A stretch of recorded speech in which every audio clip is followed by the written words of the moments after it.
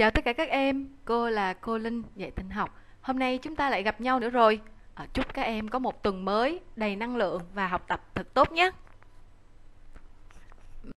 Trước khi vào bài học mới của ngày hôm nay ờ, thì chúng ta cùng nhắc lại một số lưu ý khi học tập nhé. Các em phải chuẩn bị đầy đủ sách giáo khoa, tập ghi, máy tính hoặc là điện thoại có cài sẵn chương trình Pascal, ờ, ghi chép đầy đủ kiến thức vào vở bài học vì hôm nay chúng ta sau bài mới um, các em nhớ nhấn nút tạm dừng để có thêm thời gian suy nghĩ tự trả lời câu hỏi trước khi chúng ta biết được đáp án. Và nhớ ghi lại những nội dung chưa hiểu để hỏi các bạn cũng như là hỏi cô. Và mình làm bài tập đầy đủ theo hướng dẫn nhé. À, các em cố gắng học bài nghiêm túc và chúc các em học tập vui vẻ và ghi nhớ kiến thức thật lâu. Hôm nay chúng ta sẽ học bài số 8 lặp với số lần chưa biết trước. Tuần trước chúng ta đã được thực hành ở các bài tập đó là lặp với à, số lần mà chúng ta đã biết trước. Vậy thì trước khi qua bài chúng ta cùng ôm lại một số kiến thức cũ nhé. Đầu tiên hãy cho cô biết cú pháp của câu lệnh lập for to do.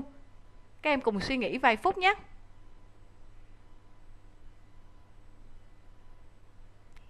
Cú pháp của câu lệnh lập for to do như sau, đó là for biến đếm, hai chấm bằng giá trị đầu, to giá trị cuối, do câu lệnh chấm phẩy. Câu số 2, khi sử dụng lệnh lặp for to do thì số lần lặp sẽ được tính như thế nào?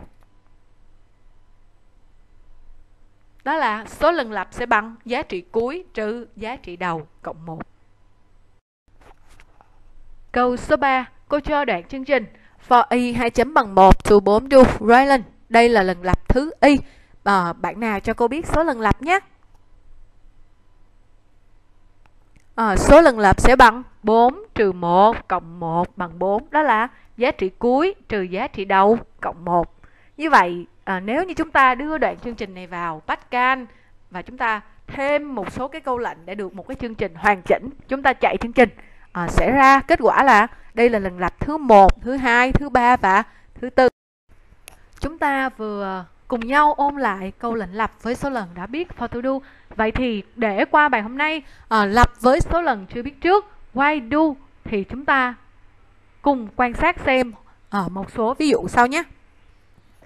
Bài đầu tiên là viết chương trình tính tổng các số tự nhiên từ 1 đến 100. Đây là bài chúng ta đã làm rồi đúng không nào?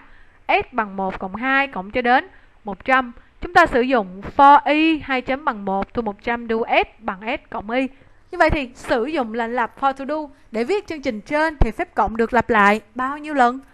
Đó là 100 lần. Và chúng ta thấy rằng lặp với số lần chưa biết trước thì chúng ta sử dụng câu lệnh lặp for do để viết chương trình. Bài tập số 2 thì sao nhỉ?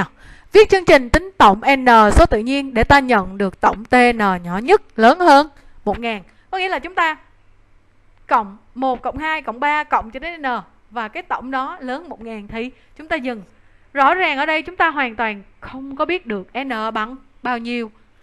Như vậy thì nếu như chúng ta sử dụng lệnh lập for to do để viết chương trình, thì phép cộng được thực hiện bao nhiêu lần?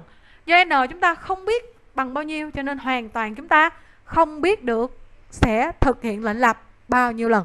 Và chúng ta không thể biết trước số lần lập, nên không sử dụng được lệnh lập for to do. Vậy thì lập với số lần mà chúng ta chưa biết trước, thì chúng ta sẽ sử dụng câu lệnh gì để viết chương trình? Hôm nay chúng ta cùng nhau tìm hiểu nhé. Chúng ta cùng qua bài mới, tìm hiểu bài mới đó là bài số 8 lập với số lần chưa biết trước.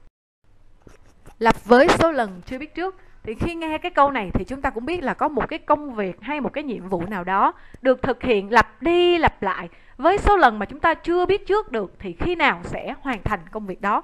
Ví dụ như à, Nam học cho đến khi thuộc bài, bạn Nam cũng không biết là bạn sẽ phải học bao nhiêu lần à, để mà thuộc được bài này à, một cô gái phải đi bộ cho đến khi về đến nhà. Cô gái cũng không biết được là à, mình sẽ đi bao nhiêu bước chân cho đến khi về đến nhà chẳng hạn. Và tôi phải nhập dữ liệu vào máy tính cho đến khi nhập xong. À, khi ai đó đưa cho tôi một cái um, một cái trang sách hay một cuốn sách mà một cái dữ liệu để chúng ta phải nhập vào máy tính thì tôi cũng chưa biết tôi phải lặp lại cái hành động uh, gõ phím này cho đến khi nào. Như vậy thì đây đều là những cái ví dụ với lặp chưa biết trước. Chúng ta vào một nhỏ nhé, tìm hiểu lệnh lập với số lần chưa biết trước này. Cô có một ví dụ. Một ngày Long quyết định cứ 10 phút gọi điện một lần cho Trang cho đến khi có người nhấc máy thì thôi. Rõ ràng bạn Long cũng không biết là à, bạn Long sẽ phải gọi gọi bao nhiêu lần để mà bạn Trang bắt máy. Đây chính là cái công việc được lặp đi lặp lại mà bạn Long không hề biết trước được số lần. Một cái câu hỏi đặt ra, hoạt động lặp là gì và khi nào thì kết thúc vòng lặp? Các em cùng suy nghĩ nhé. Như vậy ở đây hoạt động lặp là gọi điện, là bạn Long cứ gọi điện, gọi điện cho bạn Trang như vậy cứ 10 phút thì một lần. Và khi kết thúc vòng lặp chính là có người nhấc máy thì thôi. Nghĩa là bạn Trang hoặc là một người nào đó ở đầu máy bên chỗ bạn Trang nhấc máy thì công việc này sẽ được dừng lại. Vậy số lần lặp ở đây chúng ta đã biết chưa nào? Rõ ràng ở đây là số lần lặp chưa biết trước. Chúng ta có một ví dụ tiếp theo à, nếu như cô cộng lần lượt n số tự nhiên đầu tiên 1 cộng 2 cộng 3 gì đó thì đầu tiên mình sẽ được kết quả. Ví dụ như T1 bằng 1 T2 1 cộng 2 T3 là 1 cộng 2 cộng 3 kết quả đó cứ được tăng dần tăng dần lên. Vậy thì câu hỏi đặt ra là chúng ta cần cộng bao nhiêu số tự nhiên để được tổng TN nhỏ nhất lớn hơn 1000 chúng ta có biết được số N chưa nào? Ở chúng ta chưa biết được số N. Do đó đây cũng là lập với số lần chưa biết trước như vậy, điều kiện như thế nào thì chúng ta sẽ kết thúc hoạt động lặp. Điều kiện ở đây chính là khi tổng TN nhỏ nhất mà lớn hơn 1000 ha, vừa mới tìm được một con số à, thế N vào cộng 1 cộng 2 cộng 3 cộng cho đến N. Vừa mới tìm được một cái kết quả lớn hơn 1000 thì chúng ta lập tức kết thúc hoạt động lập Chúng ta cùng phân tích một chút về bài toán này nhé à, cái tổng đầu tiên cô cho là 0 với n bằng 0 khi n bằng 0 ừ, t0 bằng 0 thì sẽ nhỏ 1000 đây là đúng. Chúng ta có tiếp tục n bằng 1 t1 bằng 1 t n nhỏ bằng 1000 đúng. Chúng ta cứ làm như vậy liên tục. Cho đến khi có được tổng tn vừa lớn 1000 thì điều kiện ở đây sai và chúng ta đã kết thúc việc tính tổng đây chính là ở việc phân tích bài toán đi tìm cái số n mà sao cho cái tổng 1 cộng 2 cộng cho 3 cộng cho đến n à, nó vừa lớn hơn 1000 thì chúng ta sẽ dừng bài toán. Rõ ràng ở bài toán lúc nãy giờ chúng ta chưa biết trước được n bằng bao nhiêu cũng như là chưa biết được số lần lặp bằng bao nhiêu. Chúng ta có thuật toán của bài toán như sau. Cô ký hiệu S là tổng cần tìm. Bước 1 là cô gán giá trị cho S bằng 0 và N bằng 0. Bước 2 cô kiểm tra điều kiện. Nếu S nhỏ bằng 1000 thì cô tăng biến N lên một đơn vị và S sẽ bằng tổng trước à, cộng với lại biến N. Và chúng ta quay lại bước 2 có nghĩa là chúng ta lại tiếp tục kiểm tra xem tổng có nhỏ bằng 1000 hay không. Nếu tổng nhỏ bằng 1000 chúng ta lại tiếp tục tăng biến N lên và cộng dồn vào với S. Và ngược lại à, khi mà S lớn hơn 1000 thì chúng ta chuyển đến bước 3 có nghĩa là in kết quả. Và n là số tự nhiên mà để tổng s nhỏ nhất sao cho s lớn hơn 1000 từ đó thì chúng ta kết thúc. Với thuật toán như trên thì chúng ta có sơ đồ khối như sau. Ở đây chúng ta thấy đầu tiên sẽ kiểm tra điều kiện. À, nếu tổng nhỏ bằng 1000 đúng thì biến n được tăng lên một đơn vị tổng sau sẽ được tính bằng tổng trước cộng với biến n cứ tiếp tục lặp đi lặp lại như vậy, cho đến khi biến tổng lớn bằng 1000 thì chúng ta sẽ dừng lại hoạt động lặp. Bạn nào có thể cho cô biết các hoạt động lặp với số lần chưa biết trước phụ thuộc vào gì và chỉ dừng lại khi nào? Như vậy ở đây chúng ta thấy việc lặp lại các hoạt động với số lần chưa xác định sẽ phụ thuộc vào một điều kiện cụ thể. Điều kiện cụ thể của mình ở đây là gì? Ờ, à, S nhỏ hơn bằng 1000 và chỉ dừng lại khi điều kiện không thỏa mãn. Điều kiện không thỏa mãn có nghĩa là S sẽ lớn hơn 1000. Từ việc uh, phân tích sơ đồ của bài tập trên thì chúng ta cùng tổng quát hóa lại lại với sơ đồ của lệnh lập với số lần chưa biết trước nhé. Ờ, à, S nhỏ bằng 1000 chính là điều kiện N bằng N cộng 1 S bằng S cộng N chính là câu lệnh Như vậy với điều kiện đúng thì câu lệnh sẽ được thực hiện Còn điều kiện sai thì câu lệnh sẽ bị bỏ qua và kết thúc vòng lặp Đây chính là sơ đồ khối của lặp với số lần chưa biết trước. Như vậy thì để chỉ dẫn máy tính thực hiện các hoạt động lặp ở trên, ta có thể sử dụng câu lệnh có dạng là lặp với số lần chưa biết trước hay là lặp với số lần chưa xác định. à, từ đây giờ chúng ta cùng nhau tìm hiểu về cú pháp của câu lệnh lập why do nha. Chúng ta cùng xem ha. Why do. Như vậy cú pháp như sau. Why điều kiện do câu lệnh. Và trong đó why do chính là các từ khóa. Điều kiện thường là một phép so sánh. Ví dụ S nhỏ bằng 1000, A lớn hơn 5, à, B nhỏ hơn hoặc bằng 6. Câu lệnh thì có thể là một câu lệnh hay là nhiều câu lệnh, là câu lệnh đơn giản hay là câu lệnh ghép. Chúng ta cùng chép bài và vở nhé.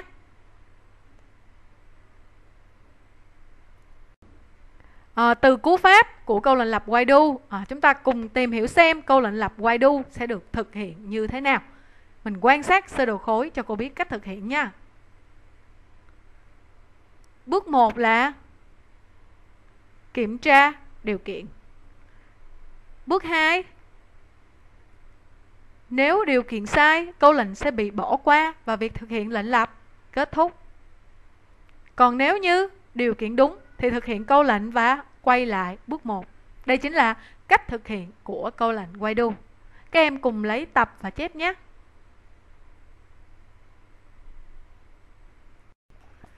Như vậy thì mình vừa mới uh, theo dõi về cú pháp của câu lệnh lập quay do, sơ đồ khối cũng như là cách thức mà câu lệnh lập quay do thực hiện. Chúng ta cùng quan sát một số ví dụ nha.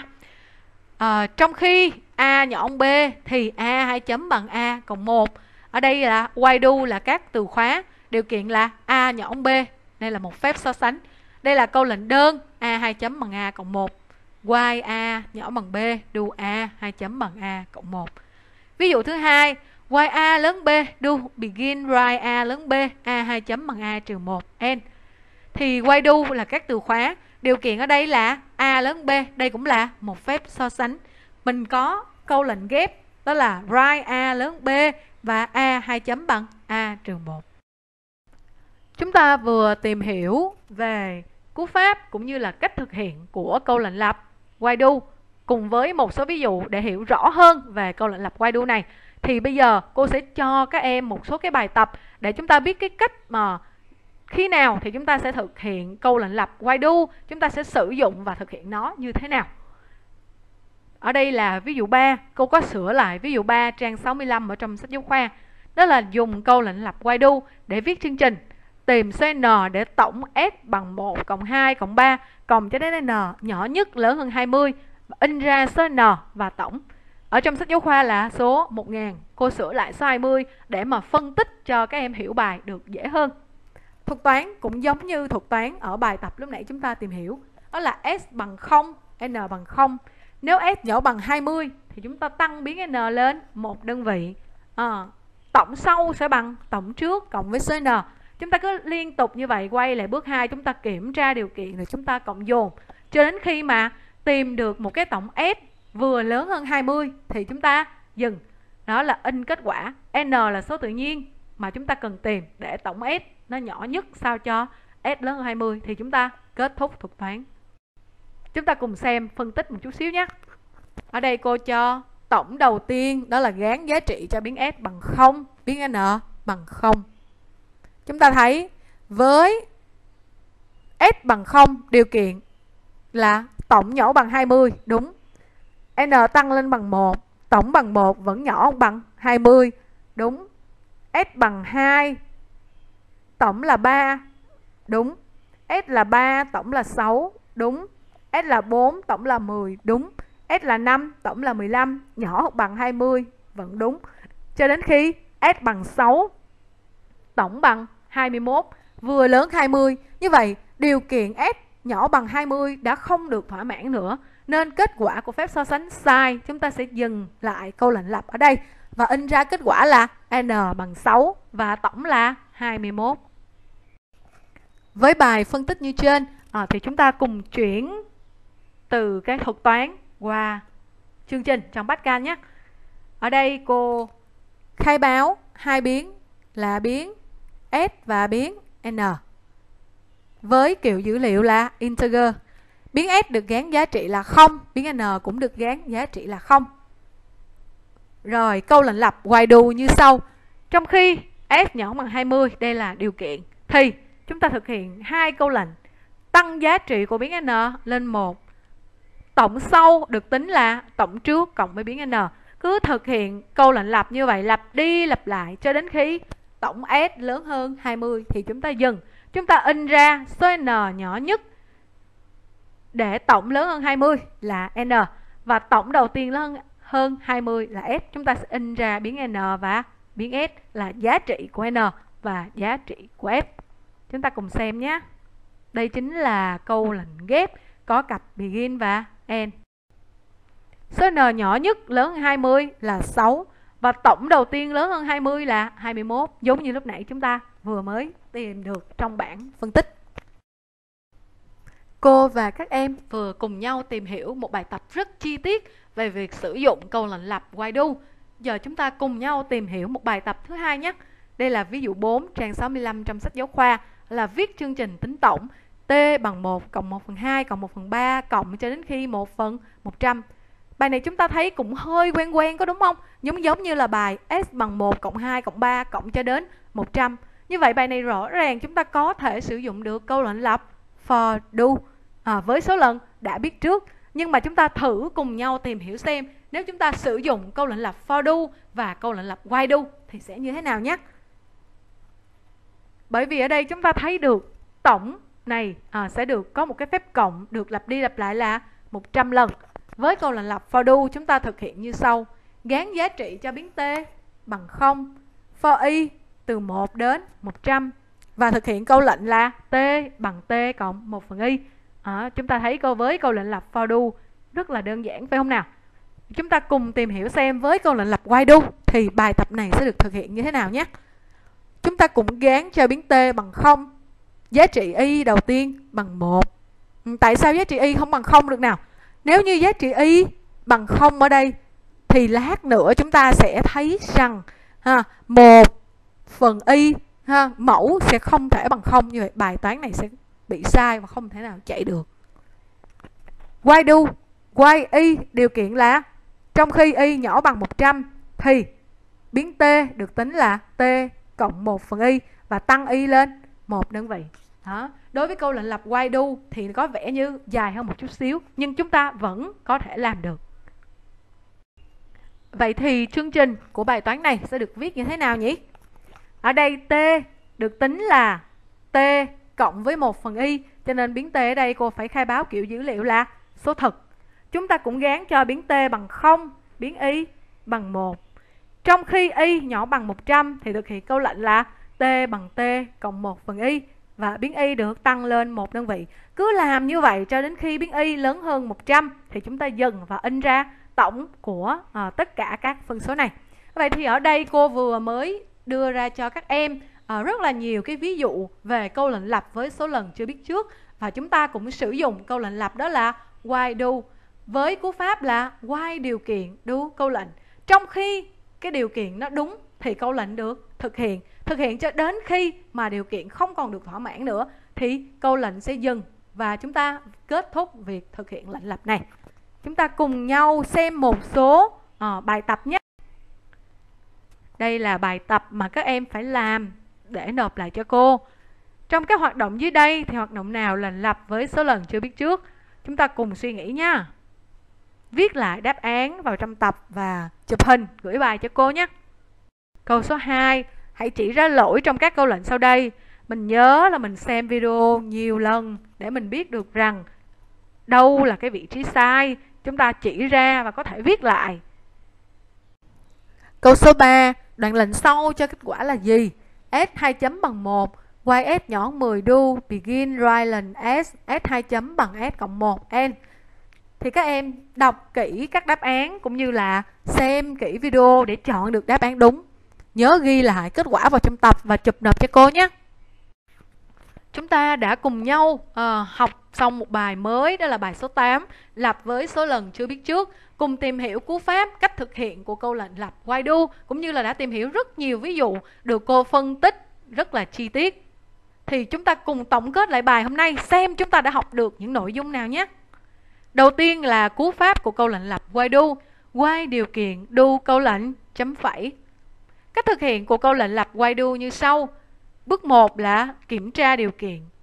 Bước 2, nếu điều kiện sai, câu lệnh sẽ bị bỏ qua và việc thực hiện lệnh lập kết thúc. Còn nếu như điều kiện đúng, thực hiện câu lệnh và quay trở lại bước 1 thì đây chính là sơ đồ khối của câu lệnh lập while do.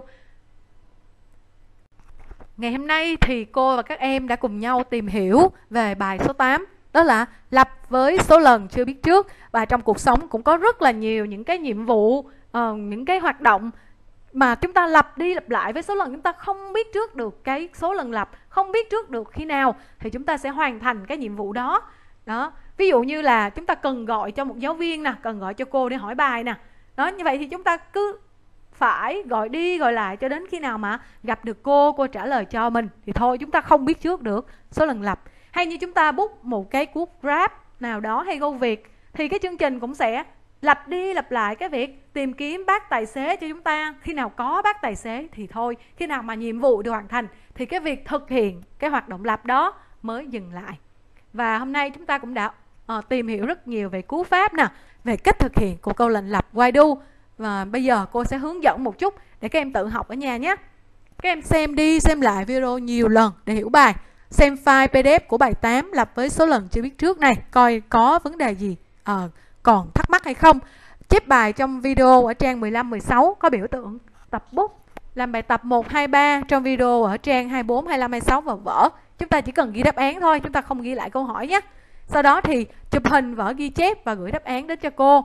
Hàng chót nộp bài là ngày 18 tháng 4 năm 2020 nha. Và sau đó chúng ta nhớ gửi về email hoặc là Zalo cho cô mọi chi tiết mọi thắc mắc chúng ta có thể gọi lại cho cô rồi, chào tất cả các em, cảm ơn tất cả các em và chào tất cả các em. Cảm ơn các em đã xem hết đoạn video này. À, chúng ta cùng nhau ở nhà thực hiện các bài tập và các bài học ở trong một cái sự nhiệt tình và vui vẻ nhé. Chúc cho các em giữ sức khỏe cũng như là mùa Covid qua mau để chúng ta sẽ gặp lại nhau. Hẹn gặp lại các em vào tuần sau nhé.